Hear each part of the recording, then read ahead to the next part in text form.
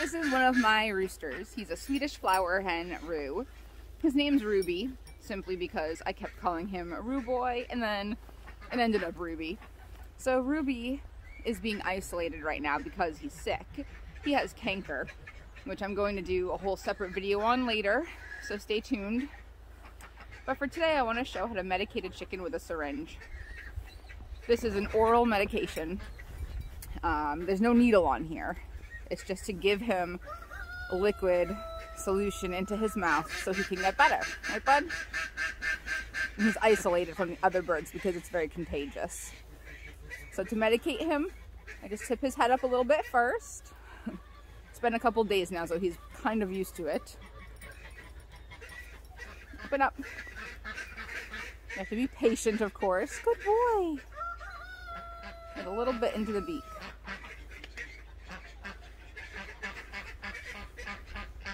And I put more than I need, knowing some of it's going to end up on the ground. Good boy. I have him by the feet.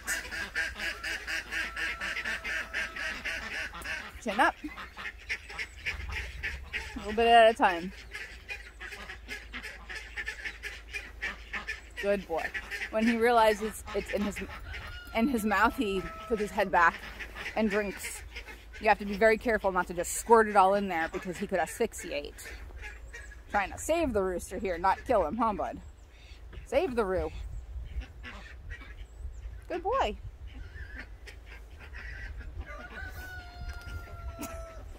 Patiently.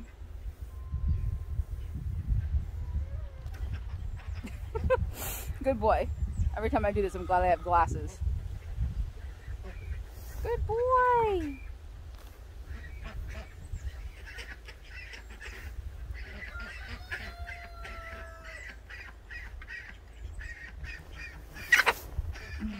Okay.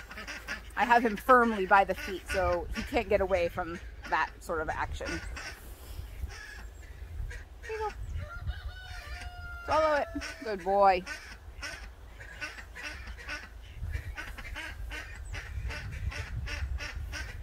Good boy. Good boy. Just a little bit left.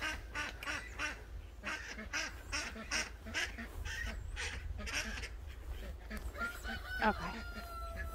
Good boy. And that is how we medicate a bird. Well, a chicken or a rooster. While we're here, let's take a look at his giant talon. look at that thing right here. The biggest toenail I ever did see.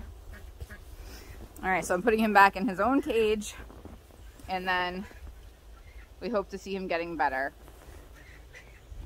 And his canker, you can see is this puffiness on his mouth. It's in the skin, kind of in between his outside of his cheek and the cheek on the inside of his mouth. And that looks terrible, but it looked even worse a few days ago. And he's starting to get better. Good boy. Let's go back.